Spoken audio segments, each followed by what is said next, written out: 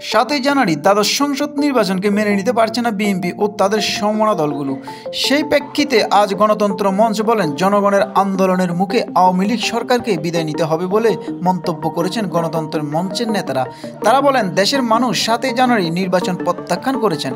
গণতান্ত্রিক বিশ্ব ও এই দেশের নির্বাচনকে গ্রহণ করেনি। সেই বয়ে তড়িগড়ি করে বিএনপির মন্ত্রীরা শপথ নিয়েছেন। কিন্তু এই শপথ নেওয়া কিংবা দ্রুত সরকার গঠনে কাজ হবে না। শুক্রবার বিকেলে জাতীয় প্রেস ক্লাবের সামনে গণতন্ত্র মঞ্চ আয়োজিত সমাবেশে নেতারা এসব কথা বলেন। মঞ্চের নেতারা ও নাগরিক ঐক্যের সভাপতি মাহমুদুর রহমান মান্না বলেন, দ্বাদশ জাতীয় সংসদ নির্বাচনকে বিদেশি পর্যবেক্ষকরা বুয়া বলেছেন। এটা কোনো ভোটই ছিল না। তিনি আরও বলেন, লড়াই যখন শুরু করেছি, লড়াই করব। লড়াইয়ের মধ্য দিয়ে নিজেদের পাওনা আদায় করে নেব। লড়াই করেও এই সরকার আর টিকতে পারবে না।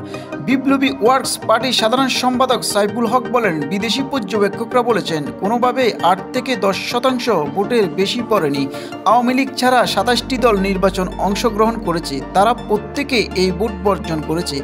তিনি বলেন, বাংলাদেশকে আর একদলীয় শাসনের দিকে নিয়ে গেছে। এই নির্বাচনকে যদি আমরা ক্ষমতায় থাকার লাইসেন্স মনে করি, তাহলে ভুল করবেন। আলোচনা করে সংকট উত্তরণের একটা সুযোগ আছে আপনাদের।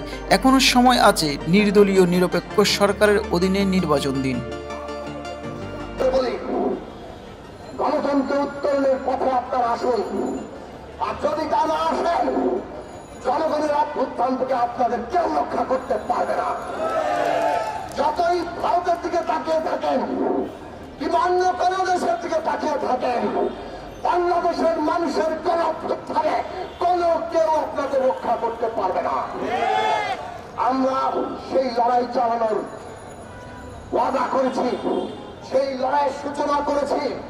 গত তিরিশে সেপ্টেম্বর আমরা কর্মসূচি ঘোষণা করেছি জাদুঘরের সামনে সমাবেশ থেকে আজকে ঢাকা শহরে বিভিন্ন থানায় উচ্চায়তনে যে সমাবেশ হবে, তার প্রথম সমাবেশ থানার এই কারওয়ান বাজারে। এরপরে একুশ তারিখ